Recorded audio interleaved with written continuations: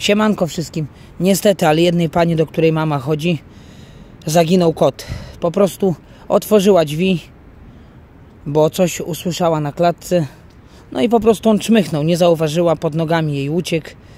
Mówi, że nieraz tam wychodził na klatkę, no ale zawsze po niego, wiecie, wyszła, wzięła go albo wrócił, a teraz nie zauważyła po prostu. Myślała, że jest w domu, gdzieś się schował. No i potem po jakimś czasie zauważyła, że kota nie ma. Wyszła na klatkę i niestety kota nie ma. A ten kot jest w ogóle chory, bo ona e, ma dla niego jakiś tam inhalator taki i mu daje. 10 lat ma ten kot. Ja go w ogóle widziałem, bo ja już raz tam byłem. No, powiem tak, strasznie gruby ten kot. Po prostu chyba lubiał sobie dobrze podjeść. No ale naprawdę szkoda mi. Więc ta pani mi dała zdjęcie tego kota, które zrobiła telefonem. No i kazała mi pojechać do galerii.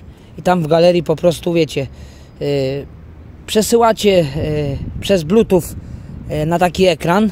Jest taki gościu, który tam sprzedaje różne aparaty, yy, wiecie, kamery, jakieś statywy. I on tam ma takie właśnie dwa, jakby to powiedzieć, monitorki takie.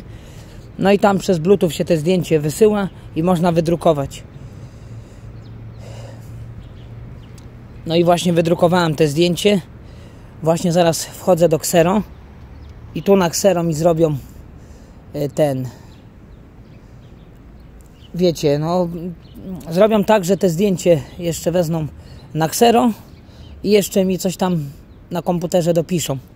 Wiecie, że tam zaginął kod, jakiś tam opis, numer telefonu. Szkoda, naprawdę.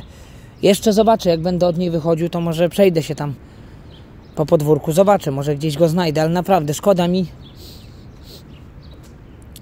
Bo sami pamiętacie, jak moja kotka gdzieś uciekła i nie było jej 3 dni. Chyba to był rekord. 3 dni czy 4, coś takiego. Pamiętam, że ja jeszcze wtedy pracowałem. I mój tata zawsze do mnie dzwonił w pracy i mówi: Nie ma jeszcze jej. Potem wiecie, następnego dnia byłem w domu, szukaliśmy, nie było. Potem znowu w pracy i mówił: Dalej nie ma. No ale nasza kotka na szczęście wracała, bo ona za jakimś tam kotem latała zawsze. Jakiś tam kot zawsze był czarny, ona zawsze latała. Także jakby co to będę szukał. Zerknę, zobaczymy. Także pozdrawiam Was. A i może w sobotę, ale to jest takie yy, znowu info na 90%. Może zrobię drugi koncert z okazji 8 lat koncertów, bo w marcu wrzuciłem drugi koncert w 2015 roku, więc może zrobimy koncert na drugą nóżkę, jak to się mówi. Także pozdrawiam i do zobaczenia. Jakby coś było, żebym wiedział, że kot się odnalazł, to będę Was informował, że się wszystko udało. Bo naprawdę szkoda.